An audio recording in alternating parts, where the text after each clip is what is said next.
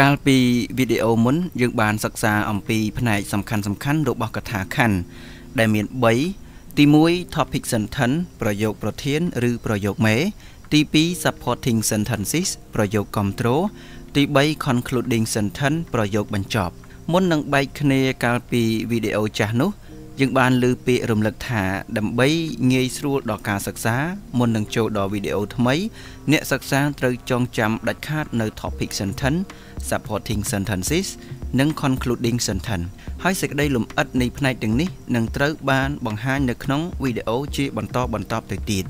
ដូច្នេះសង្ឃឹមថាអ្នកសិក្សាទាំងអស់នឹងចាំនៅពាក្យគន្លឹះទាំង3នេះមិនភ្លេចឡើយឥឡូវយើងសិក្សានៅចំណុចទី1គឺ topic sentence ដែលមានន័យថាប្រយោគប្រធានឬក៏ប្រយោគមេ The topic sentence states the main idea of the paragraph ប្រយោគប្រធានឬក៏ប្រយោគមេ និយាយពីគំនិតសំខាន់នៅក្នុងកថាខណ្ឌមានន័យថាប្រយោគមេនេះឬ topic sentence នេះបង្ហាញពីរឿងដ៏សំខាន់មួយ ដែលនឹងត្រូវអធិប្បាយនៅក្នុងកថាខណ្ឌរបស់យើង បើនិយាយបញ្ច្រាស់មកវិញ គឺអ្វីដែលនឹងត្រូវបង្ហាញឬសរសេរនៅក្នុងកថាខណ្ឌនោះត្រូវអធិប្បាយពង្រីកសេចក្តីរបស់គំនិតសំខាន់ដែលយើងហៅថា topic sentence នោះឲ្យកាន់តែមានភាពទូលំទូលាយឡើង យើងមើលឧទាហរណ៍មួយនេះ topic sentence គឺ learning english has several advantages មួយប្រយោគនឹងហៅថា topic sentence គំនិតសំខាន់គឺគុណសម្បត្តិនៃការរៀនភាសាអង់គ្លេស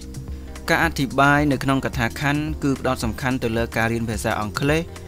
វាមានប្រយោជន៍ដូចមិនដូចខ្លះអ្វីដែលយើងគូកត់សម្គាល់គឺថា ប្រយោគមេឬក៏ topic sentence គឺនៅខាងដើមនៃកថាខណ្ឌរបស់យើង ប៉ុន្តែសម្រាប់អ្នកដែលសិក្សាឬក៏គាត់រៀនបានច្រើននឹងឃើញថាប្រយោគមេនេះ topic sentence នេះអាចនៅកណ្ដាលឬក៏នៅខាងចុងកថាខណ្ឌក៏មានដែរទោះជាយ៉ាងណាក្តីអ្នកសិក្សាថ្មីថ្មី យើងគួរផ្ដោតសំខាន់លើប្រយោគមេដែលមានទីតាំងនៅខាងដើមកថាខណ្ឌសិនចុះព្រោះថាវាងាយស្រួលដល់ការចំណាំនិងការសរសេរបន្តចុះទៅក្រោមទៀតតែម្ដងងាកមកមើលធាតុសំខាន់សំខាន់របស់ topic sentence វិញ នៅក្នុង topic sentence នេះមាន2ផ្នែកដែលយើងត្រូវចងចាំគឺ topic និង controlling idea យើងសិក្សានៅធាតុសំខាន់ទី1គឺ topic ដែលមានន័យថាប្រធាន topic what your paragraph is going to be about មានន័យថា topic គឺអ្វីដែលយើងចង់និយាយនៅក្នុងកថាខណ្ឌជាឧទាហរណ៍នៅក្នុងកថាខណ្ឌនេះ learning english គឺជា topic ពោលគឺវាជាគំនិតសំខាន់នៅក្នុងកថាខណ្ឌនេះផងដែរ ឥឡូវយើងចូលដល់ធាតុសំខាន់ទី2របស់ topic sentence ឬក៏ប្រយោគប្រធាន គឺ controlling idea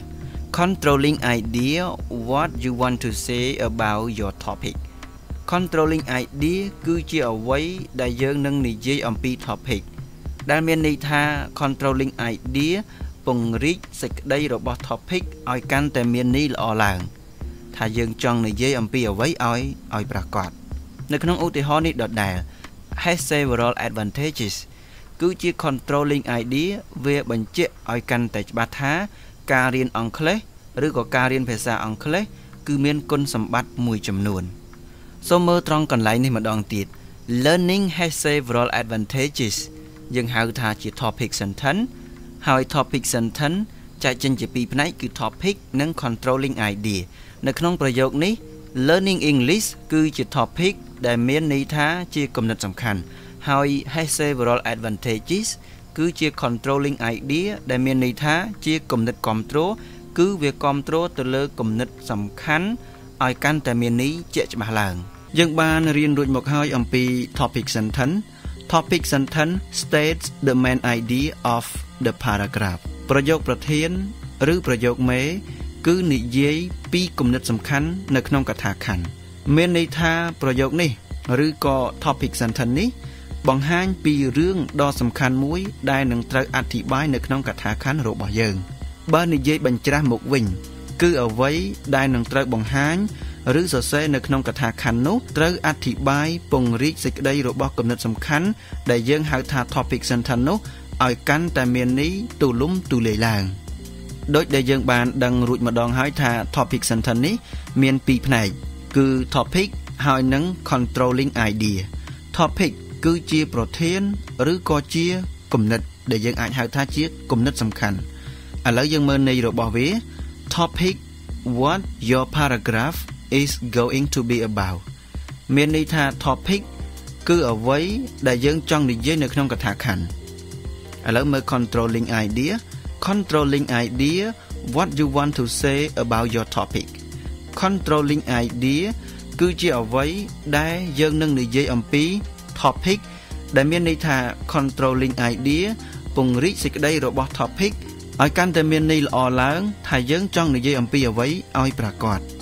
ឥឡូវយើងមើលឧទាហរណ៍ចាស់របស់យើង Learning English has several advantages ប្រយោគនេះគឺហៅថាជា topic sentence ឬជាប្រយោគប្រធាន នៅក្នុងប្រយោគនេះ learning english គឺជា topic ដែលមានន័យថាជាគំនិតសំខាន់ several advantages គឺជា controlling idea ដែលមានន័យថាជាគំនិតគ្រប់គ្រងគឺវាគ្រប់គ្រងទៅលើគំនិតសំខាន់ឬក៏គ្រប់គ្រងទៅលើ topic ឲ្យកាន់តែមានន័យជាក់ច្បាស់ឡើង ជាបន្តទៅទៀតនេះ យើងចូលដល់ឧទាហរណ៍ថ្មីថ្មីខ្លះទៀត ដែលបញ្ជាក់ពី topic និង controlling idea Cambodia is my best country មានន័យថាកម្ពុជា ជាប្រទេសដ៏ល្អបំផុតរបស់ខ្ញុំ Cambodia គឺជាគំនិតសំខាន់ដែលយើងហៅថា topic ហើយ my best country គឺជាគំនិតគ្រប់គ្រងដែលយើងហៅថាជា controlling idea ពោលគឺយើងត្រូវប្រើគំនិតគ្រប់គ្រង អធិប្បាយយ៉ាងណាឲ្យតាក់ទងចិត្តបំផុតទៅនឹងគំនិតសំខាន់បើនិយាយឲ្យងាយស្ដាប់បន្តិចគឺថាប្រទេសកម្ពុជា គឺជាគំនិតសំខាន់ហើយពាក្យថាជាប្រទេសដ៏ល្អបំផុត គឺជាគំនិតគ្រប់គ្រងមានន័យថាយើងត្រូវអធិប្បាយបែបណាឲ្យអ្នកអានឃើញថាតើយើងសំអាងលើអ្វីខ្លះទើបហ៊ាននិយាយថាប្រទេសកម្ពុជា ជាប្រទេសដ៏ល្អបំផុតរបស់យើង។ យើងត្រូវលើកជាគំនិតចម្បងចម្បង3ទៅ4ចំណុចនិងឧទាហរណ៍ខ្លះៗមកបញ្ជាក់លើចំណុចទាំងនោះនិយាយធ្វើជាផុសតាង ដើម្បីឲ្យអ្នកអាន បានយល់ពីគំនិតសំខាន់របស់យើងមួយទៀត Building new school is good for us ការសាងសង់សាលាថ្មី គឺល្អសម្រាប់យើងទាំងអស់គ្នាមកដល់ប្រយោគមួយនេះសង្ឃឹមថាអ្នកសិក្សាអាចមើលដឹងថាតើមួយណាជា topic និងមួយណាជា controlling idea building new school គឺជាគំនិតសំខាន់ឬហៅថាជា topic good for us គឺជាគំនិតគ្រប់គ្រងឬហៅថា controlling idea ក្នុងគំនិតគ្រប់គ្រងនេះត្រូវអធិប្បាយនិងលើកអំណះអំណាងឲ្យបានសមរម្យដើម្បីធ្វើឲ្យអ្នកអានឃើញថាការសាងសង់សាលាថ្មី ពិតជាល្អមែនសម្រាប់យើងទាំងអស់គ្នាឧទាហរណ៍មួយនេះសូមពន្យល់តែប៉ុណ្្នឹងចុះ ឥឡូវយើងមកមើលចំណុចគួរចងចាំចំនួន2ចំណុចនៅក្នុងការសរសេរប្រយោគប្រធាននេះឬក៏ថាចំណុចគួរចងចាំទាំងពីរចំណុចទាក់ទងជាមួយនឹងរបៀបសរសេរ topic sentence នេះ1 You have to make sure that your topic sentence is written in the right way and has full meaning for your paragraph ទី1អ្នកត្រូវប្រាកដថាប្រយោគប្រធានរបស់អ្នក ត្រូវបានសរសេរត្រឹមត្រូវហើយមានន័យគ្រប់គ្រាន់សម្រាប់កថាខណ្ឌរបស់អ្នកវាមានន័យថាយើងមិនមែនចេះតែសរសេរឲ្យតែបានបាននោះទេព្រោះអាចនិយាយបានថាកថាខណ្ឌរបស់យើង គឺពឹងផ្អែកទាំងស្រុងលើប្រយោគប្រធាននេះហើយបើយើងដាក់គោលដៅខុសពោលគឺបើយើងដាក់គំនិតសំខាន់នេះខុសនឹងធ្វើឲ្យសំណេររបស់យើងឃ្លាតឆ្ងាយពីអ្វីដែលគេចង់បាន2 A topic sentence usually comes at the beginning of a paragraph and it guides your reader know what to expect from each paragraph ប្រយោគប្រធានច្រើនតែនៅខាងដើមកថាខណ្ឌហើយនាំឲ្យអ្នកអានដឹងនៅអ្វីដែលគេនឹងទទួលបានក្នុងសំណេររបស់យើងនោះ ត្រង់ចំណុចទីតាំងនៃប្រយោគប្រធាននេះឬក៏ត្រង់ចំណុចទីតាំងនៃ topic sentence នេះ យើងបានដឹងរួចមកហើយវាមានច្រើនទីតាំងវាមានច្រើនកន្លែងនឹងគួរសមដែរតែកន្លែងដែលងាយស្រួលសម្រាប់អ្នកអាននោះគឺយើងត្រូវសរសេរវានៅខាងដើមកថាខណ្ឌនេះឯងសូមអ្នកសិក្សាជួយចងចាំនៅចំណុចទាំងពីរនេះផងព្រោះវានឹងជួយឲ្យសំណេររបស់អ្នកកាន់តែមានប្រសិទ្ធភាពពោលគឺងាយអានងាយយល់មកដល់ពេលនេះយើងចូលដល់ការសិក្សានៅផ្នែកទី2នៃកថាខណ្ឌហើយវីដេអូនេះ យើងនឹងសិក្សាអំពី supporting sentences ទោះជាយើងបានដឹងហើយថា supporting sentences គឺជាប្រយោគគ្រប់គ្រងក៏ពិតមែន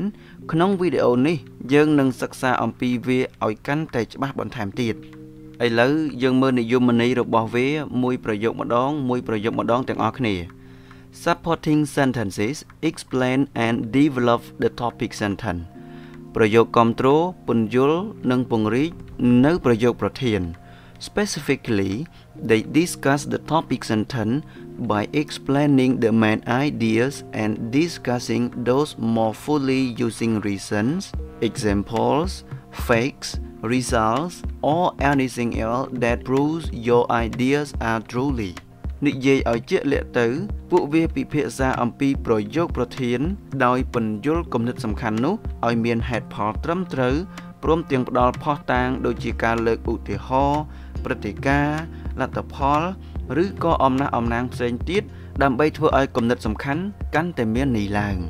ក៏បីដឹងថា topic sentence គឺជាប្រយោគដែលបង្ហាញអំពីគំនិតសំខាន់ចំណែកឯ supporting sentences គឺជាប្រយោគដែលបង្ហាញអំពីគំនិតគ្រប់គ្រងដូច្នេះក្នុង supporting sentences ត្រូវលើកជាគំនិតគ្រប់គ្រង3ទៅ4ចំណុចឬទៅតាមអ្វីដែលគេកំណត់ មានន័យថាបើគេទៀមទាគំនិតគ្រប់គ្រង3ចំណុចយើងត្រូវដាក់3ចំណុចបើគេទៀមទា4ឬ5ចំណុចនោះយើងត្រូវសរសេរទៅតាមនោះដែរតែកំភៃអី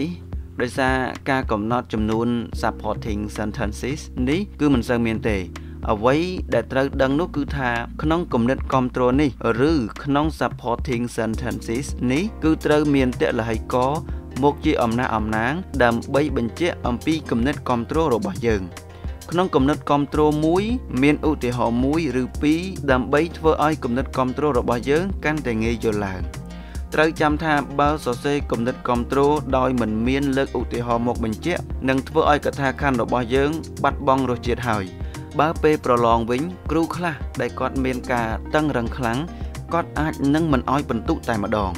ឥឡូវយើងក្រឡេកមើលឧទាហរណ៍ចាស់របស់យើងវិញម្ដង នៅក្នុងកថាខណ្ឌនេះតើប្រយោគណាខ្លះជាប្រយោគគ្រប់គ្រងឬថាតើប្រយោគណាខ្លះជា supporting sentences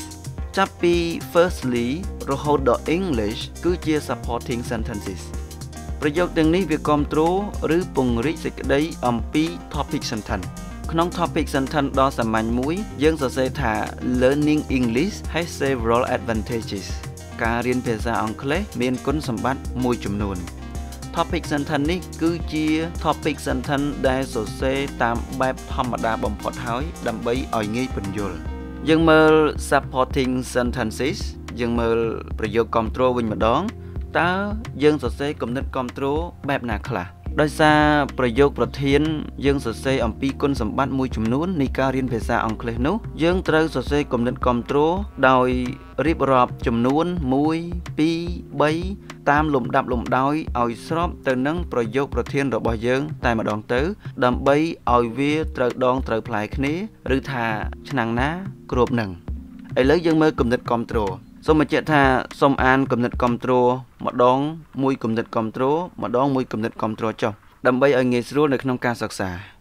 គំនិតគ្រប់គ្រងដំបូងគឺ firstly we can get very good jobs easily with companies and non-government organizations most of those companies and NGOs need the staffs to be able to speak English ទី1 យើងអាចធ្វើការជាមួយនឹងក្រុមហ៊ុន ឬអង្គការក្រៅរដ្ឋាភិបាលមួយចំនួន ក្រុមហ៊ុន និងអង្គការភាគច្រើនត្រូវការបុគ្គលិកដែលចេះនិយាយភាសាអង់គ្លេសបានឥឡូវមើលគំនិតគ្រប់គ្រងទី2 Secondly we can communicate with people all over the world in order to understand each other very well we can understand their cultures and civilizations ទី2យើងអាចទំនាក់ទំនងជាមួយនឹងមនុស្សម្នាក្នុងពិភពលោក ដើម្បីស្វែងយល់អំពីគ្នាបានយ៉ាងងាយស្រួលយើងអាចដឹងអំពីវប្បធម៌និងអរិយធម៌របស់ពួកគេបានថែមទៀតផងគំនិតគ្រប់គ្រងទី3 Thirdly if we are students we need to research our lessons or document from the internet or libraries in fact most of the documents are written in English ទី3បើយើងជាសិស្សយើងអាចធ្វើការស្រាវជ្រាវអំពីអ៊ីនធឺណិតឬបណ្ណាល័យបាន ជាការពិតណាស់មានឯកសារជាច្រើនត្រូវបានសរសេរជាភាសាអង់គ្លេសឥឡូវយើងមើលគំនិតគ្រប់គ្រងទាំង3គំនិតគ្រប់គ្រងដំបូងគឺនិយាយអំពីឱកាសការងារហើយគំនិតគ្រប់គ្រងទី2 និយាយអំពីការទំនាក់ទំនងប្រចាំថ្ងៃក៏ដូចជាការទំនាក់ទំនងទៅក្នុងពិភពលោកគំនិតគ្រប់គ្រងទី3គឺនិយាយទាក់ទងជាមួយនឹងការសិក្សាដោយឯកសារជាច្រើនគឺត្រូវបានសរសេរជាភាសាអង់គ្លេសសរុបមកយើងឃើញថាគំនិតគ្រប់គ្រងរបស់យើងទាំង3នេះសរសេរឬពន្យល់ឲ្យអ្នកអាននឹងឃើញថាការរៀនភាសាអង់គ្លេសពិតជាមានគុណសម្បត្តិមួយចំនួនមែន សូមបញ្ជាក់ថានេះគ្រាន់តែជាការលើកយកកថាខណ្ឌដ៏សាមញ្ញមកធ្វើជាឧទាហរណ៍តែប៉ុណ្ណោះដូច្នេះសូមអ្នកសិក្សាដែលចេះច្រើនហើយសរសេរទៅតាមអ្វីដែលខ្លួនអាចធ្វើបានទៅចុះកថាខណ្ឌមួយនេះគឺអាចជាគំរូសម្រាប់បងប្អូនយកទៅសិក្សាយកទៅប្រឡងកម្រិតឌីប្លូមឬក៏បាក់ឌុបបាន សូមផ្ដាំដល់អ្នកដែលទៅសិក្សាថ្មីថ្មីឲ្យបានជ្រាបថា យើងមិនគួរសរសេរប្រយោគប្រធាន ឬក៏ topic sentence ឲ្យមានទំហំធំពេកទេព្រោះវាអាចនឹងលំបាកនៅក្នុងការប្រើប្រយោគគ្រប់គ្រងបើអ្នកចេះពាក្យច្រើនវាមិនមែនជាបញ្ហាទេ តែអ្នកដែលចេះពាក្យល្មមល្មមវិញសូមកុំស៊ីតាមឃ្លានកុំហ៊ានតាមចង់អីដែលនេះជាពាក្យរបស់លោកតាក្រុមងុយនេះយើងពេលខ្លះយើងចេះបង្កើត topic sentence បានល្អមានន័យទូលំទូលាយតែមុននឹងសរសេរក៏ត្រូវគិតដែរថាតើយើងអាចបង្កើត supporting sentences តបទៅនឹង topic sentence បានដែរឬទេឬថាតើយើងអាចបង្កើតប្រយោគគ្រប់គ្រងតបទៅនឹងប្រយោគប្រធានបានដែរឬទេ មិនមែនឲ្យតែប្រយោគប្រធានល្អប្រយោគគ្រប់គ្រងល្អនោះទេ វាអាស្រ័យទៅលើយើងចេះផ្សាយផ្សំគ្នាតែប៉ុណ្ណោះអ្វីដែលសំខាន់នោះគឺត្រូវមើលពេលវេលាផង កាលចារី អ្នកស្គាល់កាលទៅសរសេរបានល្អទោះជាគំនិតរបស់យើងល្អប៉ុណ្ណាក៏ដោយបើសរសេរកថាខណ្ឌមួយមិនចប់ចុងមិនចប់ដើម នោះគឺលំបាកនឹងយកពិន្ទុណាស់